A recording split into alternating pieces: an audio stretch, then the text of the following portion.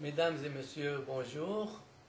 Nous entendons parfois euh, dans le monde protestant euh, nos sœurs et frères qui disent Eh bien, écoutez, vous les catholiques, ça ne va pas. Vous avez des images sacrées, vous avez des statues, vous avez des icônes. Or, tout ça, c'est contre la volonté de Dieu, tout ça va contre le décalogue, va contre les commandements. Euh, d'ailleurs, cette même objection est partagée par le monde judéo-musulman, par le monde juif et par le monde musulman. Voyons d'abord le texte qu'il cite, plutôt le verset qu'il cite, Exode chapitre 20, verset 4, s'il vous plaît. Tu ne te feras aucune image sculptée, rien qui ressemble à ce qui est dans les cieux, là-haut ou sur la terre, ici-bas, ou dans les eaux au-dessous de la terre. Voilà le texte euh, plutôt que le texte, le verset cité, c'est le verset 4, mais pour comprendre un texte, il faut revenir au contexte. Alors lisons d'abord le verset précédent, s'il vous plaît. Euh, quel est le verset précédent? Tu n'auras pas d'autre Dieu devant moi. Ah, tu n'auras pas d'autre Dieu devant moi. En hébreu, c'est negdi. Negdi, c'est devant moi c'est contre moi, c'est par opposition à moi.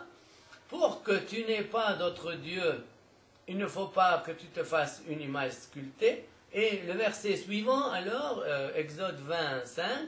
Tu ne te prosterneras pas devant ces dieux et tu ne les serviras pas, car moi, Yahvé, ton Dieu, je suis un Dieu jaloux. Ah, voilà. Donc, il ne s'agit pas euh, de, votre photo euh, sur votre passeport, ou votre permis de conduire, il ne s'agit pas de n'importe quelle, euh, quelle, photo, image ou sculpture, il s'agit d'idoles, d'idoles que les juifs étaient euh, tentés d'adorer comme les, comme les peuples païens euh, autour d'eux. Et donc Dieu demande, c'est-à-dire Dieu interdit aux juifs de se faire des idoles, des divinités qu'ils adoreraient à la place de Dieu ou avec Dieu. Or, précisément, nos statues, euh, dans nos églises, nos, icônes, nos images sacrées, ne sont pas des divinités que nous adorons, que nous adorerions ni avec Dieu, ni en dehors de Dieu. Ce sont tout simplement des symboles, des signes qui nous rappellent alors les réalités spirituelles et les personnages saints qu'elle représente, qu'il représente. Eh bien, à côté de ce texte, ne te fais pas, de Exode 20, nous avons beaucoup de textes dans l'Ancien Testament même, et dans ce même livre de l'Exode, où le même Dieu dit au même Moïse, tu feras, tu feras, c'est-à-dire fais. Exactement le contraire. Mais alors, y a-t-il contradiction? Non. Ne te fais pas des idoles, mais fait des images sacrées pour aider le culte, pour aider la dévotion des fidèles, puisque le sens le plus important chez l'homme, c'est la vue. Donc c'est comme si je vous disais, euh, ne bois pas et bois. Ne bois pas, euh, par exemple, du poison, mais bois de l'eau. Euh, ne bois pas, ou bien ne mange pas et mange ne mange pas du, poison et mange des aliments qui te feront du bien. Voilà. Il n'y a pas de contradiction. Lisons Exode 25, 16 à 20. C'est le même Yahvé qui parle au même Moïse. Tu mettras dans l'arche le témoignage que je te donnerai. Tu feras aussi un propitiatoire d'or pur, de deux coudées et demi de long et d'une coudée et demi de large. Tu feras deux chérubins d'or repoussés tu les feras aux deux extrémités du propitiatoire. Fais l'un des chérubins à une extrémité et l'autre chérubin à l'autre extrémité. Tu feras les chérubins faisant corps avec les propitiatoires à ces deux extrémités. Les chérubins auront les ailes déployées vers le haut et protégeront le, propitiatoire de leurs ailes en se faisant face. Les faces de chérubins seront tournées vers le propitiatoire. Voilà, alors les chérubins, comment est-ce qu'il va faire des chérubins? Les chérubins, c'est des anges. Euh, des anges même euh, d'une nature euh, spéciale, eh bien voilà, tu feras, donc tu feras des statues, des statues de des chérubins avec, avec des yeux, avec des ailes, ce qui explique nos statuts dans nos lieux du culte.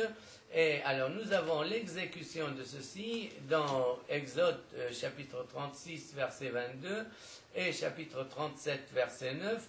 Nous avons un ordre, un commandement semblable donné à Salomon pour le lieu saint dans le premier livre des rois, euh, chapitre 6 verset 33, 23 à 25 et chapitre 8 verset 6 à 8 et, verset, et chapitre 10 verset 19 à 20.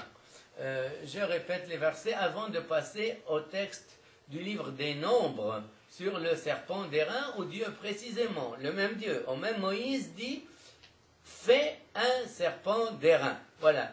Euh, l'airain, vous savez, une espèce de métal et une espèce de serpent.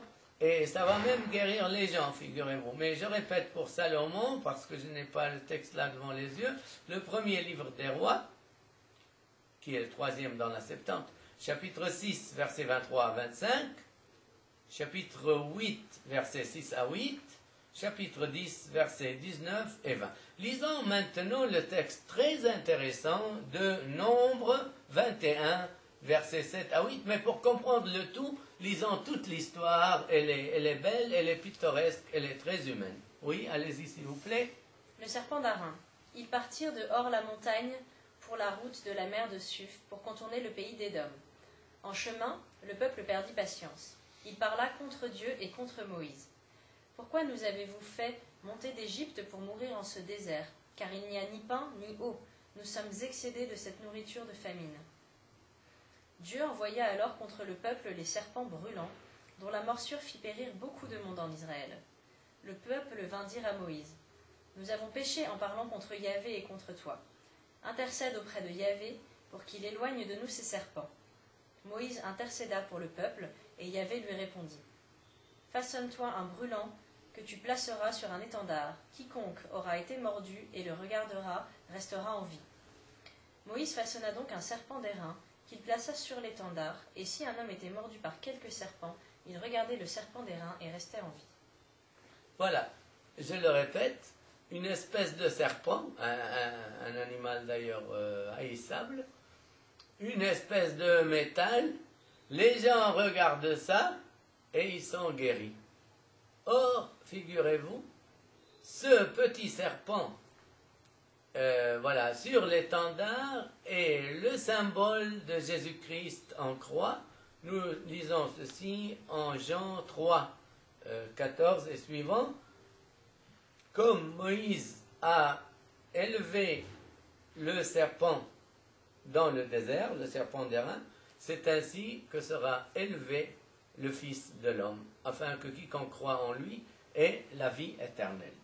Voilà donc des images, des statues, des images sacrées, des icônes, qui non seulement ne font pas de mal, ne sont pas de l'idolâtrie, mais qui au contraire font du bien. D'ailleurs, pour nous les chrétiens, il n'y a aucun problème à avoir une représentation euh, du Christ, euh, de la Sainte Vierge, euh, des saints. Pourquoi? Parce que Jésus lui-même, c'est un homme, c'est le Verbe de Dieu fait chair, fait homme, comme nous lisons en Jean 1, 14, et dans Colossiens 1, 16, nous, disons, nous lisons que Jésus est icône tout seu tout aoratu, que Jésus est l'icône, précisément l'image du Dieu invisible.